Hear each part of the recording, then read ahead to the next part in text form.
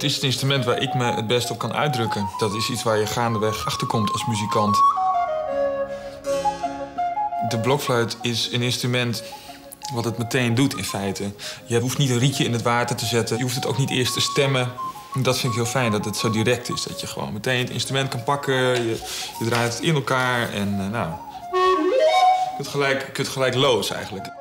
Ik denk dat de blokfluit een van de instrumenten is die het dichtst bij de menselijke stem komt. Omdat het in die zin ook heel direct is. En op een bepaalde manier ook heel naakt. Als een, een, een, uh, je kunt je niet verbergen achter een, een grote klank of achter... Um, ja, bijvoorbeeld zoals bij een piano, dat je even heel veel lawaai maakt. Nee, het is allemaal heel puur en heel kwetsbaar. En um, als een noot raak is, dan is die ook goed raak. Dan, komt die, dan is het dus ook echt een hele, heel emotioneel instrument.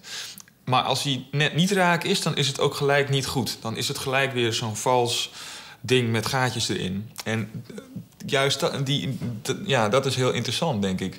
Hoe je juist met zo'n um, in wezen beperkt of eenvoudig instrument zulke, uh, zulke werelden kan maken. En zoveel, zoveel suggestie kan oproepen.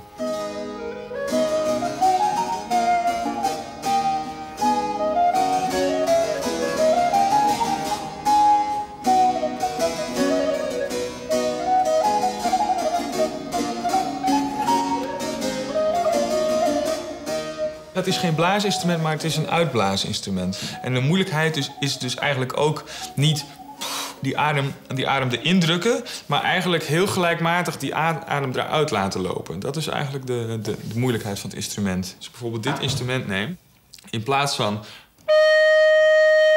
speel ik eigenlijk hetzelfde als. Doe ik eigenlijk hetzelfde met mijn adem. En dan mijn tong erbij.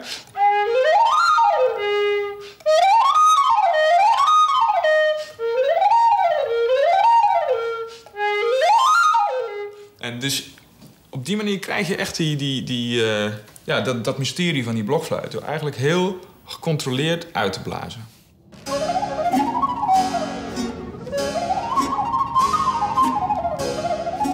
We zijn onderweg naar Leiden, naar het concertgebouw.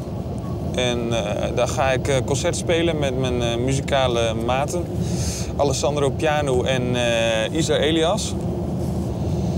En het programma wat we gaan spelen is 17e eeuwse Nederlandse muziek. Dus muziek uit de Gouden Eeuw die, ja, die een beetje op het breukvlak van de, van de populaire en de kunstmuziek zit. Heel veel muziek uit die tijd die is eigenlijk gebaseerd op, op de populaire wijsjes uit die tijd. En, ja, daar maakte men dan uh, improvisaties op. En uh, ja, ik, ik moet die, voor mij is nu de taak, maar ook voor Isar en Alessandro, om die, uh, om die improvisaties zo te laten klinken alsof we ze zelf verzonnen hebben.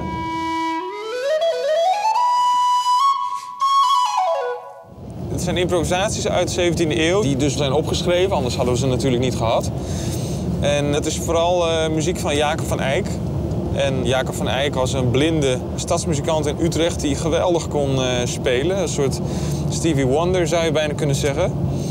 Maar uh, waar Stevie Wonder de, de cd's, uh, nou ja, platen in die tijd had, had Van Eyck dat natuurlijk niet. Dus um, op een gegeven moment is iemand aangewezen die, die al zijn improvisaties op noten zou moeten zetten. En dat heeft hij ook gedaan. En nou ja, dat soort muziek gaan we dus vanavond spelen.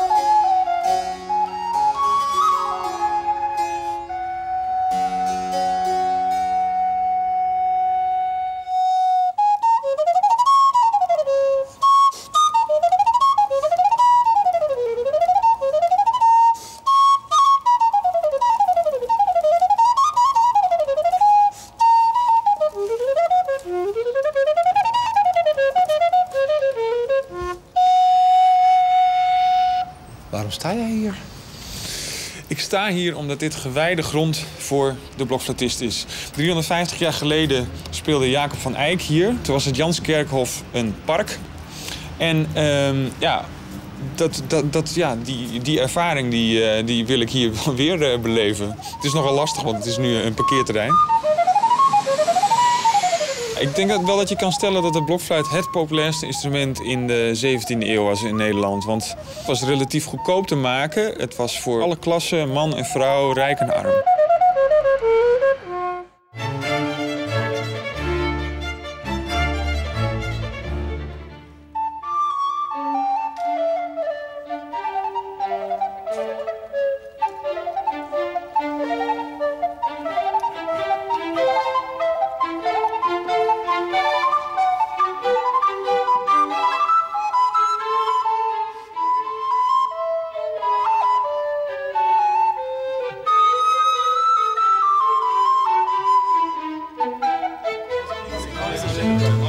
Time. Ah, it's only the second time. Yeah, I'm sorry. I should have should have been clearer about that. Okay, good.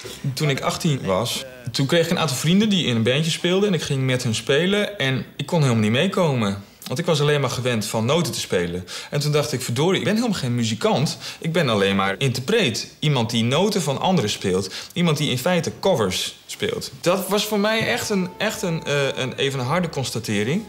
En ik heb toen me laten zeggen, mijn oren uh, heel erg ontwikkeld. En heb heel erg leren improviseren op een gehoor en op harmonie. En ben toen weer teruggekomen bij uh, de, de geschreven muziek. En uh, heb me toen ook gerealiseerd dat, dat je geschreven muziek ook kan laten klinken alsof je het zelf verzonnen hebt. Juist door het timing te improviseren. Yeah, very good. Okay. It's nice to play that one. Yeah, sure. Yeah. Yes. Je bent hard het meeschaven, hè? Ja, ja, ja, ja. Ik, uh, ja, tuurlijk. Ik, uh, ik, ik ben hier niet alleen om mijn nootjes uh, te, te, vreten, maar ook om, uh, om actief met het orkest bezig te zijn. En ja, het leuke is ook dat ze, dat ze heel erg reageren. En ik probeer ook elke keer iets anders te doen. En ja, daarmee ligt eigenlijk ook verantwoordelijkheid bij het orkest. Dat maakt muziek levend voor mij. Heel veel dingen kun je afspreken, maar uiteindelijk gaat het om wat er op het moment gebeurt.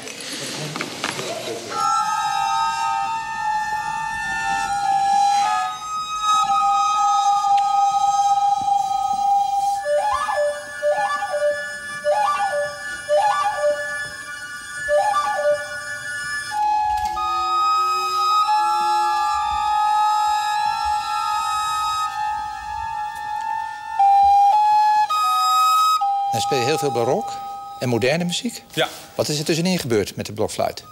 Nou, de blokfluit kon eigenlijk niet meekomen met uh, de steeds harder wordende orkesten. En uh, ja, daardoor is het instrument eigenlijk min of meer uitgestorven. En uh, eigenlijk pas ja, eigenlijk vlak voor de Tweede Wereldoorlog, maar daarna echt is het, uh, ja, is het instrument weer populair geworden als, als schoolinstrument. En uh, is het ook weer dankzij een aantal uh, pioniers op de concertpodia uh, verschenen. En op die manier is het niveau weer enorm toegenomen. Tegenwoordig bij de moderne muziek, maar ook in de popmuziek... je ziet overal elektronica die ingezet kan worden om ja, nieuwe geluiden te creëren. En dat doe ik ook. Hoe werkt dat? Nou ja, ik heb hier een computerprogramma waarin verschillende bewerkingsmogelijkheden zijn. Dus ik kan bijvoorbeeld nu naar een elektrisch gitaargeluid...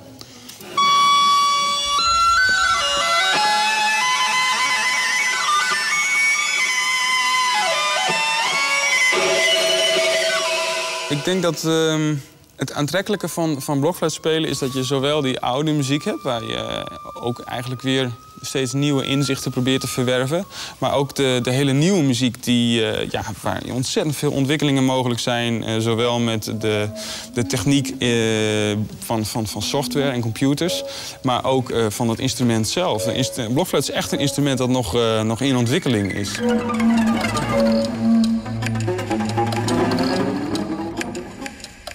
Vind het heel leuk om mijn grenzen elke keer weer te verleggen. En om uh, ja, door componisten ook bepaalde kanten opgeduwd te worden. Of de improvisaties. En um, dat, dat houdt het voor mij ontzettend spannend.